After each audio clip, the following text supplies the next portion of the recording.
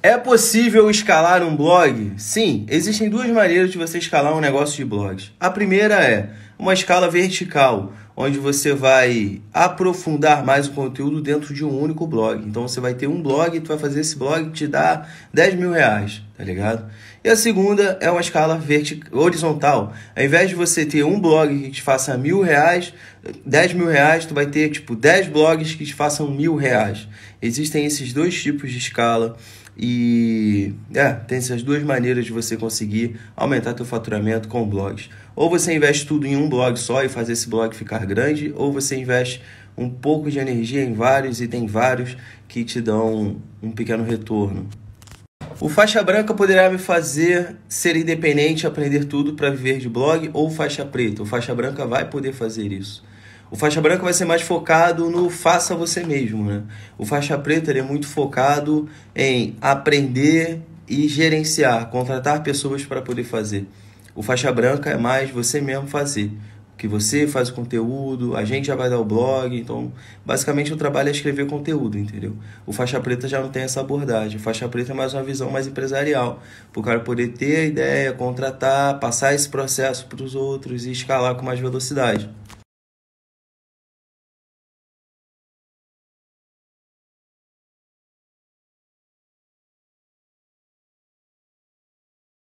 Para criar os posts para o blog, você usa Elemento ou Gutenberg? Indica algum ou tanto faz? Não, o que a gente usa é o padrão do WordPress, tá ligado? Não usa nenhum, real. Usa entrar ali, criar post, adicionar e pronto. É isso daí que é o que a gente usa. Qual a diferença do faixa branca para o faixa preta? Qual é a melhor maneira para monetizar? Foi o que eu falei. O faixa branca, ele vai ser focado em faça você mesmo.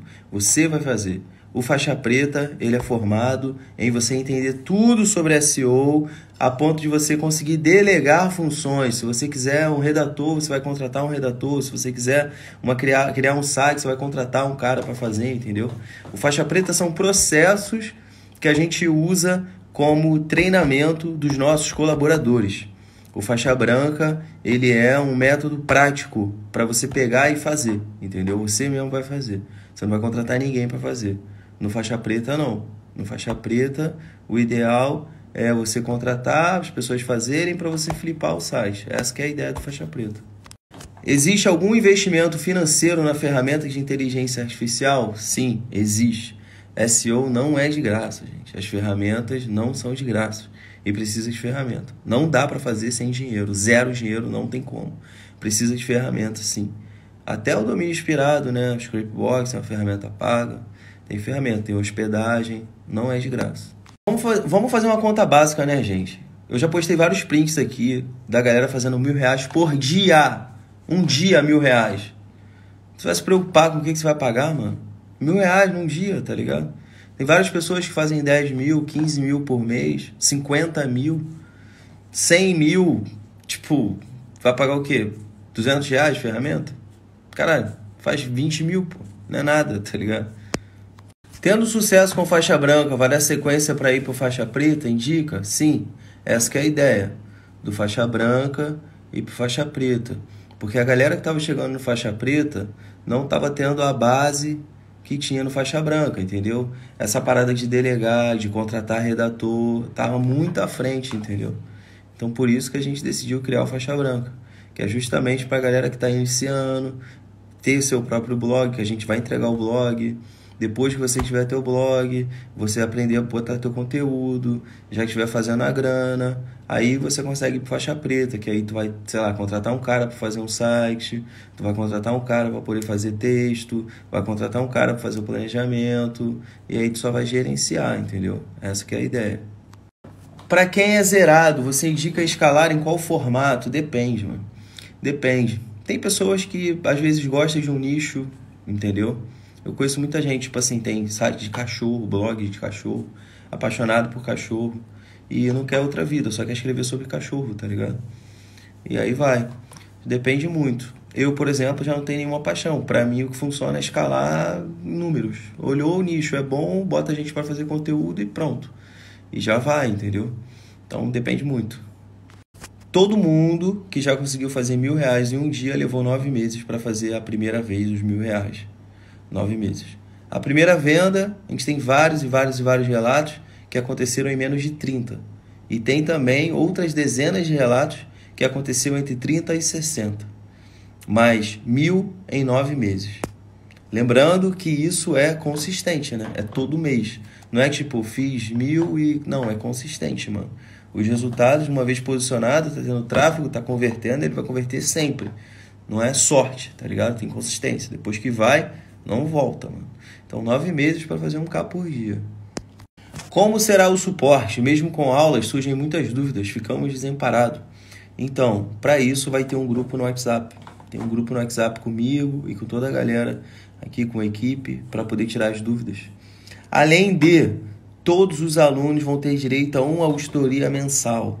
Então, se você travar em alguma etapa, tu tem como solicitar uma auditoria.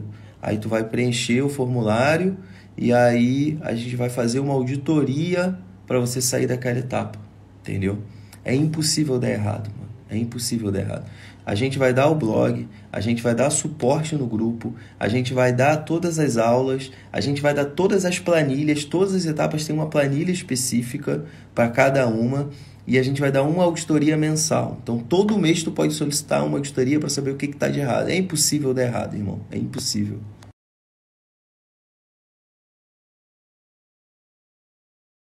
Eu vou escolher o nicho do blog ou seria você? Aí não, né, meu amigo? Não, aí você que vai escolher, pô. O nicho é você que escolhe, entendeu? Tem uma aula inteiraça, tem uma planilha lá para fazer análise de como é que escolhe, tem tudo certinho. Aí tu vai escolher, entendeu? Você vai escolher o nicho e fazer os artigos, né? A gente vai dar o blog. Caso necessário, mais uma auditoria será cobrado. Não vai ter, só no Act mesmo. Então, a auditoria do teu projeto é uma mensal e caso queira outra vai ser cobrado. Mas uma já é bastante coisa, né? Se você tiver travado, além de ter todo o recurso, de ter o conteúdo, de ter o grupo do WhatsApp, de ter todo o passo a passo, de ter o blog pronto, ainda travar, tem auditoria. Se uma auditoria não resolver, mano, eu acredito que isso não vai acontecer, né? Vai ser cobrado, mas acredito que isso não vai acontecer, cara. Porque vai ser meio difícil, né? Já tem tudo, né? Já tem o blog pronto. Aí já tem o checklist todo lá. Aí já tem o suporte no grupo. Provavelmente não vai acontecer isso.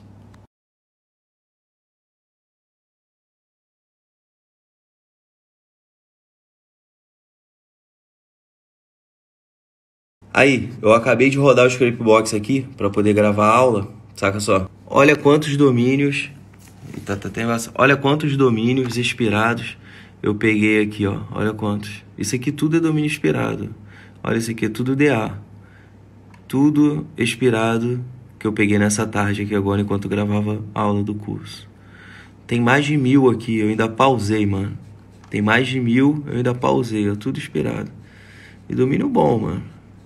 Olha os domínios bons. Olha quantos.